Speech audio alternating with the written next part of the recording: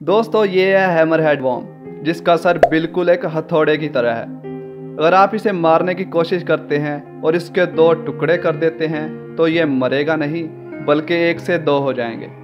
और अगर आप इसके चार पाँच छः टुकड़े भी कर देते हैं तो भी ये मरने की बजाय चार पाँच छः वॉम्स में तब्दील हो जाएगा।